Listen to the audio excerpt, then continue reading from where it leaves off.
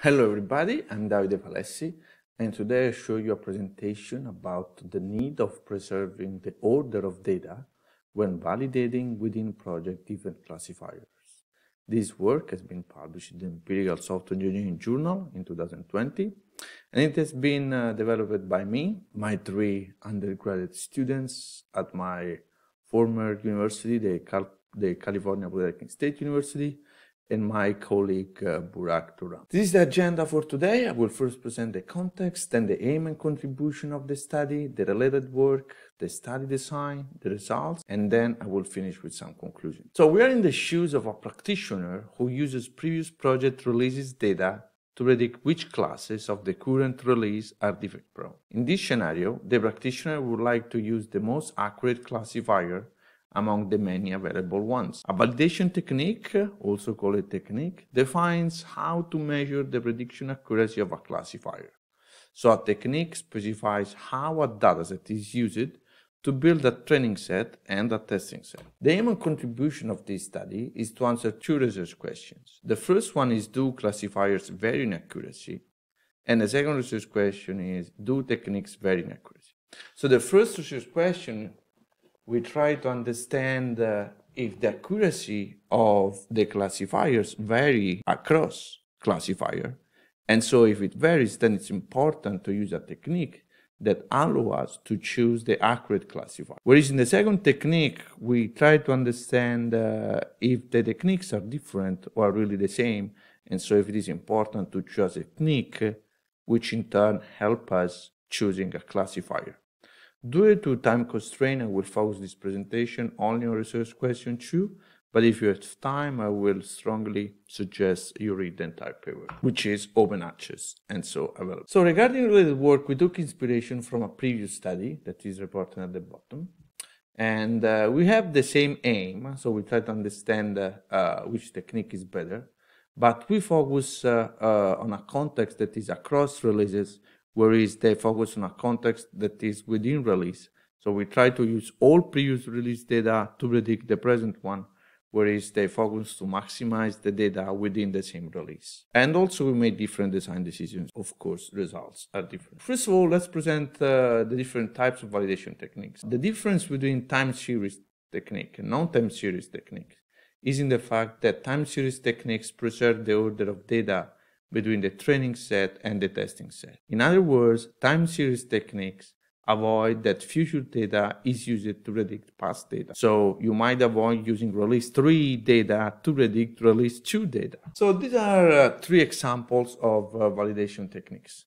The first validation technique is called walk forward, is uh, a non-time series technique. It has been largely used for validating models that predict stock prices and in this technique, the dataset is divided into parts.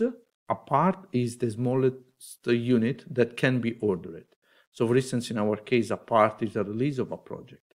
Then the parts are chronologically ordered and in each run, all data available before the part to predict is used as the training set. And the part to predict is used as testing set. So in this case, this is used as a training set and this is used as testing set. In this case, these two releases are used as a training set, and this release is used as a testing set. Afterward, the model accuracy is computed as the average among all runs. The five-fold cross-validation is uh, one of the most used non-time series technique, eh? and it makes use of random sampling strategy to construct several training and test sets on which the accuracy of the model is averaged. The model accuracy is the average among runs, and the number of runs is equal to the number of folds. So this is equal to the part in which the data is divided. So in this case, we have five parts and we have five runs.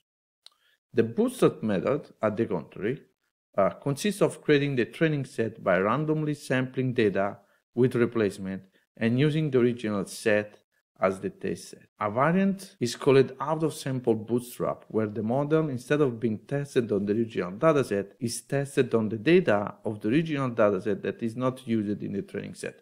So for instance, in this example, the training set is composed by parts 1 and 3, and the testing set is consists of parts 2, 4, and 5. In the second run, the training set is part 2 and 3, and the testing set is part 1, 4, and 5, and so on. And at the end, you average the result. So in the study design, we used nine classifiers, and we try to predict if a class in a release is buggy or not. We used two industry and 13 open source projects. As independent variable, we used the three techniques that I just showed you previously, the tenfold cross-validation, the bootstrap, and the walk forward. And we also use a three ideal technique, the best, the roast, and the medium. This act as a baseline to understand whether those previous techniques are excellent or they're pretty good or they're pretty bad. As dependent variable, so in order to understand uh, uh, if a technique is accurate or not, we use three metrics. The first is the recommended classifier AUC. So in other words, a technique is accurate if it suggests the use of an accurate classifier. Then we use bias, which is the estimated AUC of a classifier minus the actual AUC of that classifier. And this somehow is helpful to understand the, type of bias, whether the technique overestimate or underestimate the classifier's accuracy. And then we use absolute bias, which is similar to bias, but it is useful to understand the extent of the bias. So this is the result, and we can see that Walk Forward has the highest AUC, so it is uh, uh, able to recommend the classifiers with the highest AUC when compared to out of sample and 10 times 10 fold cross validation. We can also see that it's worse than the best technique, but it's also better than a median technique. So it is pretty good. There is uh, room for improvement, but uh, it is pretty good. Regarding bias and absolute bias, we can see that Walk Forward has a smallest distribution, so it is pretty stable and is also uh, and also provide a lower bias. Regarding absolute bias, we can see again that Walk Forward provides the lowest absolute bias. It is interesting to see that all the three techniques merely overestimate the classifier's accuracy. Then we provide a statistical test where we compare different technique and it seems that uh, the Walk Forward technique is statistically significant in terms of AUC bias and absolute bias both versus 10 times tenfold cross validation and versus out of SAM. Uh, one of the reasons why the Walk Forward might have outperformed the other techniques is that the other techniques took advantage of time and the knowledge that that time provided. So what we have done is that uh, we divided the, the dataset in the first half and the second half and we checked on whether there was a difference in the proportion of buggy classes between the first half and the second half. And the results show that there is a big difference on all the 15 projects that we have analyzed. So for instance, in Ant, the relative difference is 52%. So we have that the defective rate in the first half is 15%, whereas in the second half is 23%. Our conclusion is that uh, we suggest using time series techniques because they are more accurate, simpler, faster, and more stable than non-time series technique. However, there is no silver bullet in software engineering. This means that as different types of techniques measure different types of accuracy, no technique can be claimed better or worse than another overall. Our suggestion, therefore, is to choose the technique by carefully considering the classifier user scenario, the type of research question, the conclusions to draw, and when possible, validating the technique empirical. Thank you very much for your time and if you have questions, please read the entire paper and send me an email. Okay, hello. Uh, welcome to the first uh, live Q&A session uh, for the paper by Davide Falessi of this session. Uh, the session's name is Defect Prediction, Modeling and Performance. So um, the paper is on the need of preserving order of data when validating within project defect classifiers. So uh, Davide Falessi is here to answer your questions. Um, first, let me congratulate you on this great work, Davide. And uh, I will start with the first question by Hank Lee. Um, he says, I may have missed it. What is the oracle when calculating the bias of the different validation approaches? Yes. So first of all, the the data sets we use it uh, were already used uh, in the community. Um, so uh, the um, we didn't compute the metrics ourselves, but we used uh, datasets that were already there. regarding the specific question, I have to admit that I don't perfectly remember. Uh, so I'm going now to the paper to get. Uh, yeah, I think the, the, the, bias, if he means uh, it's the, the difference between the estimated area under curve and the actual area under curve, the difference. Yes, but the problem is uh, what is the actual accuracy? I think this is the question. Uh, so I think what I've done is that uh, Okay. He uh, also he also mentioned that his question is actually the same as Leandro's. So maybe we can also read Leandro's question. Yes. Uh, so he says, I'm not sure if I understood how you get the ground truth to know which technique is more accurate than the others. I think this is a very good question.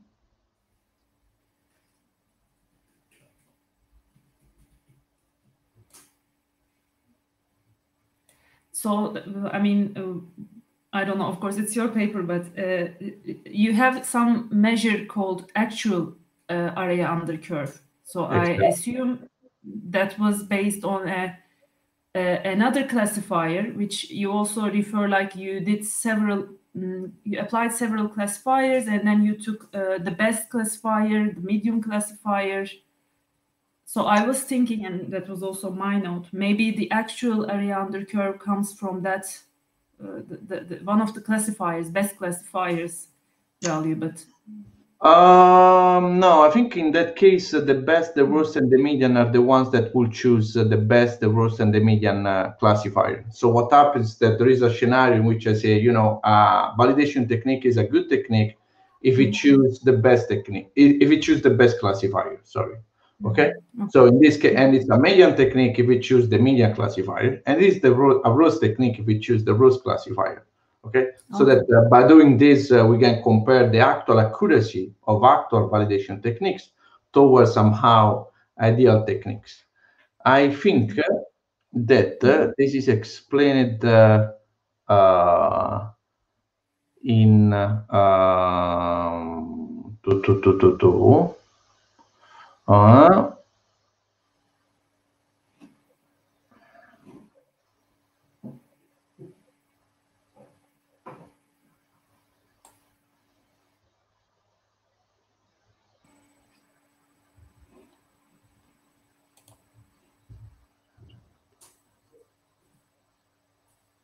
Okay, so what happens is that uh, uh, now I know the answer. So sorry about, uh, sorry Leandro and sorry Hank for uh, waiting for the answer.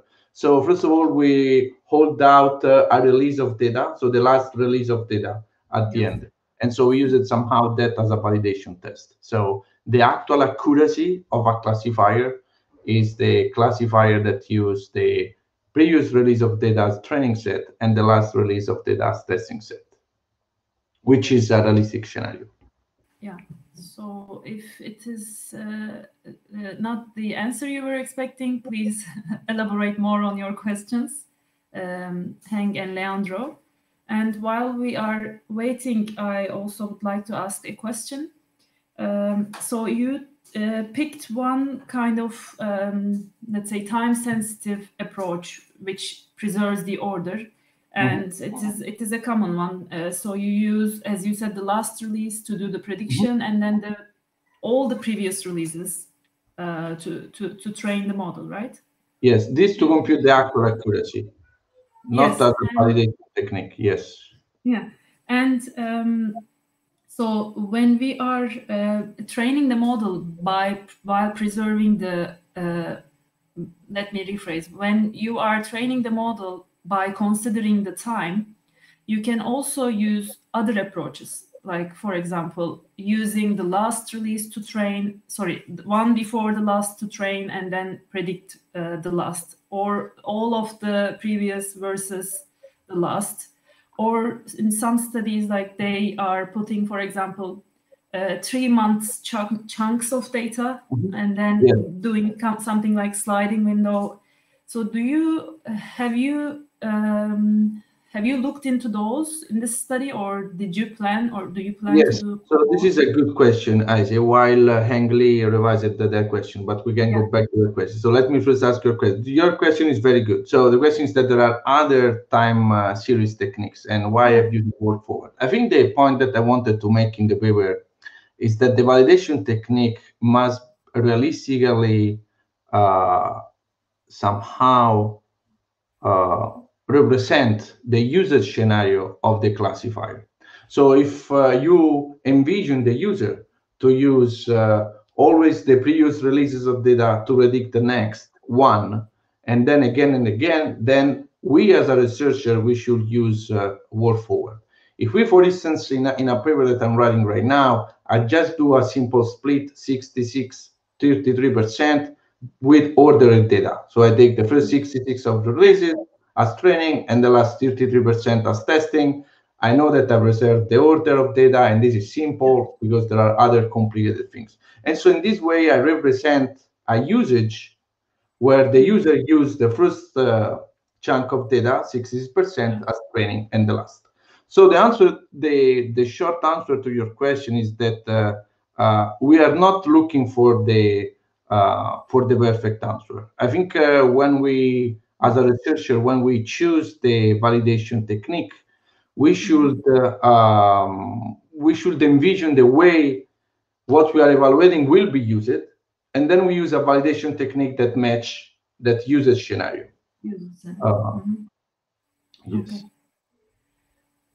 Um, so would you like to go back to the previous question yes. with yes. more explanation? So Hank says you hold the last release for the Oracle validation. Then what is the training data for the Oracle validation? All releases, the last release. I think you yes, it is. The answer is yes. So it is all releases minus the last release, which is reported exactly in uh, figure two. Uh, if you read uh, the paper yeah. that is uh, available, if you are interested. Mm-hmm. Um, okay, uh, are there any more questions?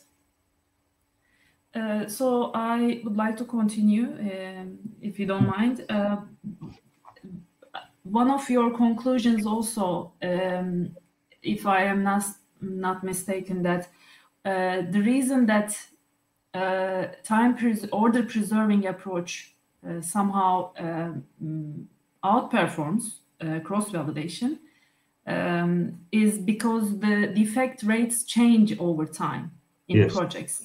Yes. Uh, that's why if we, uh, you know, preserve the order, we somehow. Uh, learn it more accurately. Exactly. Uh, do, do you see this in both open source and industrial projects, or were there differences? And the point is that uh, we don't have to know if it increases or decreases. We don't have to know what kind of pattern is attached to the time. As long as there is something yes. that is attached yes. to the time, or you think that there could be something, then we should use a time uh, series technique. Otherwise, mm -hmm. we somehow learn from the future things that uh, we should we would not have been able to learn in the past somehow. Okay. Um, Okay, so we have 20 seconds left. Um, if there are any more questions, we can maybe take one very short one. Or uh, if you're interested in uh, discussing more, you can move to the discussion room. Uh, thank you very much. Thank you. Thank you for the good questions. You're welcome. See you. Bye-bye.